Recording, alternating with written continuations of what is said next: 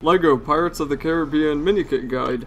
And while this is a minikit guide, it is not a compass guide or a true pirate guide. And the reason for that is that the compass itself really is a tutorial. There's really no need to need one for, for that because if you, as long as you check the compass within every area of the level before leaving that area, then you will be able to find all eight compass items really easily, and if you play through the level, you should have two or three of them already dis discovered, unless was the level in story mode where you couldn't play as Jack. And as for True Pirate, that's really easy to get if you have a multiplier brick, even times two if you play through the level, you should be able to get it. But it would it, it is definitely easiest if you have times 8 or 16 or 24 or whatever, just because that way the second you enter the level you get the meter. As for the mini kits, they are not as easy. Some of them are incredibly complicated, even for a LEGO game, which kind of bothered me. And anyway, the first two, as you saw there, were really easy to get, and this one is a little bit out of the way. You just have to blow up the jail cell and you will get to this cliffside. And the reason I was eaten by a shark was because I was trying to show there was an achievement for being eaten by a shark. But I already got it, I didn't know that, so there you go. Or I guess a trophy if you're on the PlayStation 3. So anyway, to get this minikit, you just need to push this bridge over and jump onto this wall, and for some reason, Whoever made Marty decided that Marty needs to hold onto the wall, then put one arm down and look down before he can jump to the other side instead of the other characters where they just jump instantly. I don't know, whoever designed Marty didn't do that great of a job on that aspect, but the rest of it's pretty good. He goes backwards whenever you shoot the gun. Anyway, just build this wall, come over to the left, and become a girl because you need someone with super jump.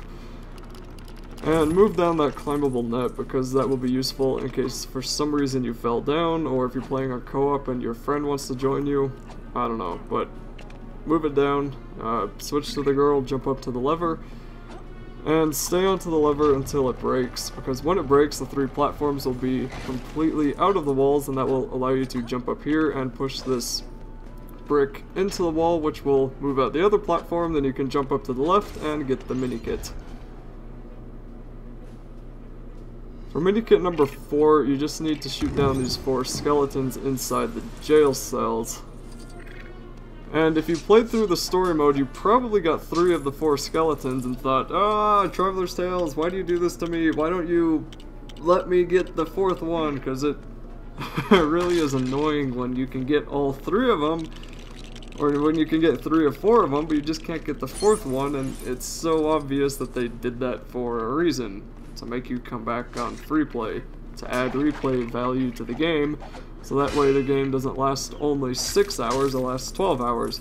Yeah, no, I'm not complaining though, I know why they do it, but uh, there's one skeleton in there, and then to get the other three you just have to break open these ones and shoot down these three skeletons, and you can use anyone with a gun besides Marty or someone with a bomb.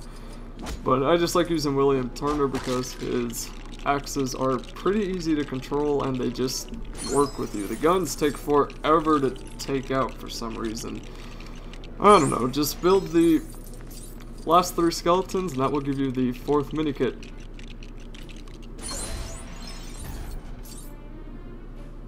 This one isn't exactly a mini kit yet, but it is the beginnings of a mini kit, and that's because there are five of these boats you have to build. Only three of them are in this area, the last two are in the next area. But just build these three mini kits and mini kits. Build these three ships, and you will be able to go on to the actual fifth one. And for this one, you don't actually have to do what I'm about to do, but uh, you would if you were in story mode. But if you're in free play, you can just become a girl and super jump on the posts. But assuming maybe you are in story mode? I don't know. If you are, you'll have to search the compass for this, and it is also another compass item, so there's that, but... Anyway, so when you find the post, you'll need to dig it up, and for some reason my controller was not working with me. It wouldn't let me open up the stupid character selection screen, which you can get by holding down Y or triangle in the uh, triangle in the PlayStation 3. I have no idea what it is for the computer or the Wii. But anyway, just make the post, and again, if you were in single player, you'd have to jump from each individual one over to the mini kit, But since we are not, you can just become a girl and super jump at the last one. You don't even have to jump on any of these and get the fifth mini kit. Now the fourth one requires getting a bunch of flags, and by a bunch I mean three of them. So you just need to come back to this area, jump up here, and you'll see all these red flags up on top, which don't really do anything but give you studs. And for there I couldn't move because of the stupid controls. anyway, there's a blue one over here which you can just jump up to really easily. And that is one of three of them. The other two are obviously in the next area, so all you have to do is jump down, leave this area, and climb up this palm tree, which is near the exit of that previous area. So climb up this tree. Maybe it's not a palm tree. Yeah, it has to be a palm tree. I don't know. I live in the middle of a desert. I have no idea what grass is. I have no idea what trees are. All I know is that they're big green things that give us oxygen.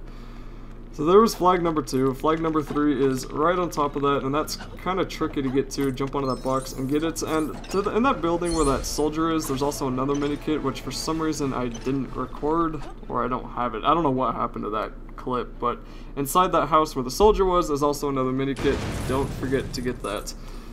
Now for the, I believe this is the seventh one, you need to use Marty or someone with an explosive to blow up those silver objects and come into here, and then you need to be someone who can go through Coral, and if you play through a couple of the Dead Man's Chest levels, no, the, whatever the third movie is called, uh, I don't know. If you play through some of those levels, you will get Bootstrap, who is, well, William Turner's dad, and obviously he can go through Coral.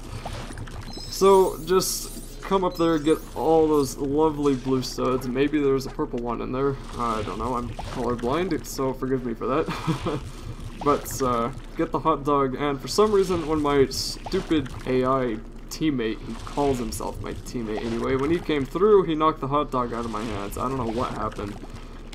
So get the hot dog and get it twice if you need to. Go back through the coral and then give it back to the very hungry sailor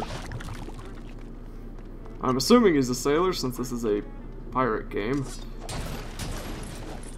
And then he will toss out his spare mini-kit ship in a bottle, because you know, everyone just has one of those lying around. And for the eighth one, ninth one, you need to build the final two... Oh, the last one was the... Okay, my phone rings every single time I'm narrating. Anyway, I had my mini-kits messed up. So anyway, for the ninth one, you just need to build these final two ships in the last area and it will appear on the fifth one.